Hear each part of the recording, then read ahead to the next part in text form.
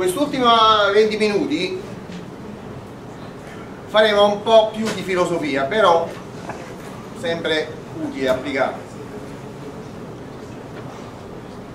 Cioè, noi stiamo studiando il corso di analisi 1, uno potrebbe porsi il problema, tante di quelle cose che tu mi fai come esercizi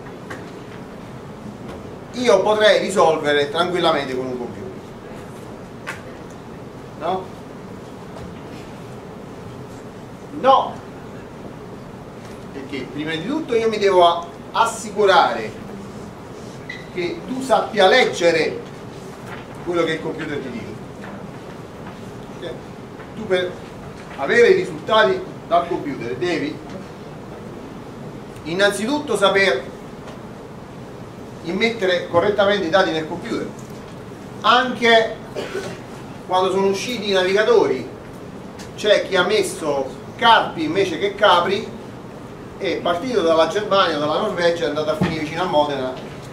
In quel caso è ancora andato bene perché Capri non dico che sia di strada però insomma non è che arrivare a Capri ci vuole un po' di più però c'è chi fidandosi del navigatore soprattutto delle prime versioni certe volte ha svoltato in posti dove è andato a sbattere contro un muro.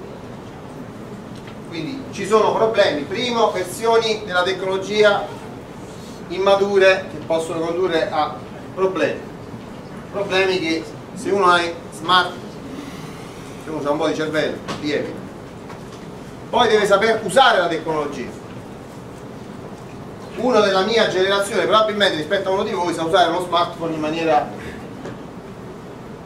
molto limitata rispetto a tutti però quando si tratta poi di estrarre determinate informazioni magari ancora ci difendiamo. Inoltre eh, i programmi che fanno calcolo anche simbolico, quindi ti fanno, se tu ci metti la derivata ti fanno anche tutta la derivata con l'espressione analitica, ma ci stanno in giro da 20 anni, 30 anni, già da quando andavo io all'università. Allora stavano facendo delle versioni, le prime versioni. Tuttavia mi ricordo, stiamo parlando di 15-20 anni fa, una volta all'Università di Napoli c'era un professore che diceva ah, matematica adesso fa quasi tutto. E l'altro professore che stava per il seminario diceva fagli fare questo. Ah c'era lo fa ancora. Infatti quel punto lì c'è sempre un qualche cosa che la macchina non fa. Io adesso vi voglio fare un semplice esempio. Questo esempio è datato magari con i computer di oggigiorno uno studente bravo si accorgerebbe del problema. Io stesso mi accorsi del problema intuì più che accorgermi del problema. La cosa mi andò bene come vedrete ma eh, diciamo a uno studente diciamo medio il problema può capitare lo stesso eh, analogo pure oggi. Allora qual era il mio problema? il mio problema era che dovevo fare il compito all'epoca del mio compito scritto di analisi 1 e dovevo calcolare un'area devo calcolare un'area, un integrale improprio, vedremo quando poi faremo l'integrale, che era un'area compresa al di sotto del grado di Ora, nonostante questa figura non sia limitata, poteva succedere che l'area fosse finita. Allora faccio i miei bravi calcoli e trovo che per adesso non mi serve sapere l'integrale per comprendere quello che sto dicendo. Faccio i miei bravi calcoli e mi viene un certo valore per l'area, un valore con un po' di esponenziali in mezzo, che ne diciamo 50, approssimato 57,2 ok? non me lo ricordo neanche. Allora mi venne però la pessima idea. Intanto mi sa fare gli altri esercizi. Dico però mi avevano prestato una calcolatrice programmabile. Per l'epoca era una cosa rara che tutti avevamo la calcolatrice normale non quella programmata. Infatti all'epoca questa calcolatrice programmabile costava mezzo milione del, di allora, stiamo parlando del 1981, 81, 82. Era un sacco di soldi. Infatti me l'avevano prestata, non era. allora dico ho questo strumento potentissimo glielo faccio controllare a lui allora quello dice ah vuoi fare un'area? sì dimmi da dove a dove. E io ho cominciato da 1 fino a 10 gliela faccio calcolare fino a qui. Se mi viene di più di 57,2 già lo dico sbagliato. Che ovviamente perde tutto questo pezzo qua. Uh, dimmi la funzione gli scrivo la funzione. Dimmi i punti base. Cosa sono i punti base? voleva sapere in quanti intervallini dovevo suddividere qua. E gli dico 10 allora lui cosa fa? applica una formula poi la vedremo si chiama formula di Cavalieri Simpson e mi calcola l'area dei trapezzi cioè cosa fa? congiungere i punti che rappresentano sul grafico il valore della funzione col punto successivo e ottiene dei trapezzi calcola l'area di questi trapezzi e somma le aree ora come potete vedere più o meno o il grafico della funzione o i trapezzi la differenza non è molta. Uh, faccio calcolare l'area me la calcola in pochi secondi e gli viene che ne so facciamo conto 53 il risultato era coerente con 57,2 era un po' di meno eh, vabbè. Però fammi, fammi controllare meglio. Tanto la calcolatrice funziona mentre io faccio gli altri esercizi. Allora cosa faccio? allora dico ah, calcola fino a 100 allora punti base. Vabbè. A uguale 1 B uguale 100 punti base. 100 come prima ho messo 10 metto 100 metto la calcolatrice a faticare e mi metto a fare gli altri esercizi. Mentre metto la, la calcolatrice a lavorare faccio un esercizio poi passare 10 minuti la calcolatrice non dà nessuna risposta. Dico guarda io che ne so questa quando riesci di lavorare? Dico guarda qual è l'unica cosa sulla quale potete agire per far fare il calcolo più velocemente della calcolatrice? L'estremo è quello l'altro estremo è quello, l'unica cosa che potete fare è ridurre un po' i punti base. Allora ci metto punti base uguale 20. Vi faccio fare i conti, dopo un paio di minuti, questa qua risponde 427. Strizza enorme perché da 53 che andava bene con 57,2 era diventato 427 panico. Fallo fino a 1000 punti base gli metto sempre 20 perché tanto sapevo che se ce ne mettevo tanti mi piaceva faccio l'esercizio mentre io faccio l'esercizio lui dopo un paio di minuti mi risponde 4100 e poi. Caspita. Ma sa che l'integrale diverge poi ci rifletto un po', ricontrollo i conti che avevo fatto su quell'integrale, mi sembravano fatti bene.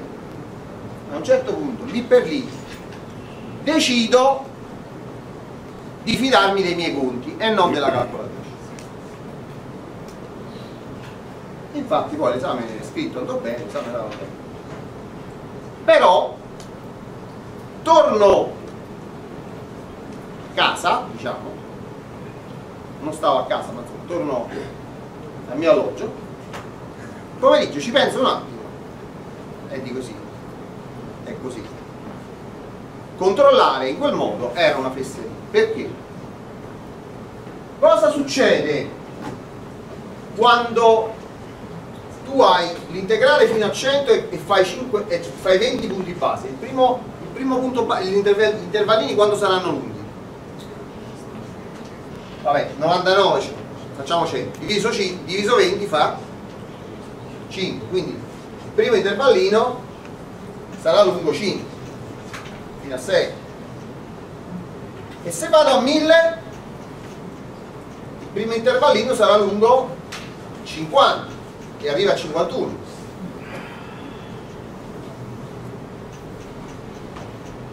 se vado a 10.000 il primo intervallino sarà lungo 500 lo capite che succede? lasciate perdere tutti gli altri intervallini. Il primo trapezio ha una base fissa un'altezza fissa scusate che poi sarebbe la base maggiore se lo girate. L'altra base minore la potete mettere pure 0 perché tanto non è importante. E poi c'è una altezza che qua vedete come base ma se lo girate diventa l'altezza che ogni volta moltiplicate per 10 perché se ogni volta l'intervallo di integrazione lo aumentate di 10 volte e però il numero di punti base rimane uguale la lunghezza di ogni intervallino diventa moltiplicata per 10 e allora che succede? succede che quest'area di questi traversi va infinita cioè in particolare quest'area qui quella che dovete calcolare è finita ma voi mano a mano che allungare il vostro intervallo di integrazione il primo intervallino il primo trapezio si mangia talmente tanta di quell'area che da, da un'area finita ve la sta facendo diventare un'area di 50 e qualche cosa ve la sta facendo diventare 500, 5.000, 50.000 40.000, 400.000 infatti a me mi insospettì in quel momento diciamo che dopo le prime due volte praticamente ogni volta che aumentavo di 10 volte l'integrale veniva moltiplicato per 10 dico non può essere perché la funzione per come era fatta la funzione cioè non poteva essere che ogni volta perché la funzione non è costante, la funzione scende no? e, e allora non può essere che se lo io da 0 a 1000 fa 400 se io da 0 a 10.000 fa 4.000 non può essere chiaro?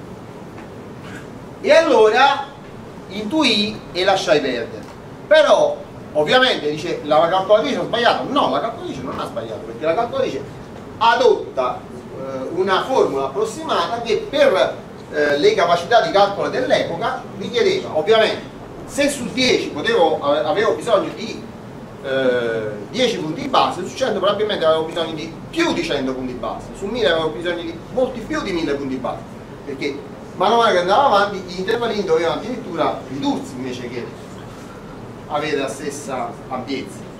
Chiaro? Però siccome la calcolatrice non rispondeva in tempo utile, nonostante fosse all'avanguardia per l'epoca, ma lo stesso può avvenire ad oggi. Ad oggi tu, allora il computer per che cosa deve essere fatto? Deve essere fatto per estendere le tue capacità mentali. Cioè, il computer è come un microscopio. Tu, un microscopio, ti serve per vedere determinate cose che a occhio nudo non puoi vedere e il computer ti serve per fare dei calcoli che a mano non ci riesci a fare. Ma tu quando usi il microscopio e vedi determinate figure devi essere in grado di interpretarli e se non hai studiato biologia e le altre materie che devi studiare per interpretare quello che vedi vediamola, vediamola in un altro modo. Vediamo un tipo di tecnologia che si sa che è utile, però si sa che nessuno di noi riesce a, leggere. Prendete un'ecografia. Eh, tu vedi che quello fa, manipola, guarda, dice, fa tutta una serie di considerazioni in base a delle immagini in bianco e nero che uno di voi o io non ci capisce niente. Però, per quale motivo? Perché comunque eh, la capacità dei, dei computer, di calcolo dei computer, fino ad oggi, ancora fino ad oggi, di interpolazione di quelle immagini. Adesso cominciano ad esserci delle ecografie fatte a colori, si vede meglio l'immagine, altre cose eccetera, però alla fine eh, i medici sono affezionati al, alle macchine che fanno l'ecografia in bianco e nero perché ormai si sono abituati a leggere bene le ecografie e si dovrebbero ritarare a interpretare le ecografie fatte tra virgolette meglio con macchine più moderne invece là sanno interpretare bene i risultati chiaro? quindi la tecnologia va deve essere lei al servizio della persona, ma la persona per usare bene la tecnologia deve essere in grado di saperla leggere, guidare e interpretare. Voi mettereste un fucile ipertecnologico in mano a una persona che non ha mai sparato, farà danni ipertecnologici, è chiaro? Quindi capiamoci bene, cioè analisi 1 si deve sapere perché è la base cioè questi esercizi si devono fare perché se non riuscite a interpretare, a leggere, a un grafico di funzione scemo come quello di prima eh, non va bene è chiaro?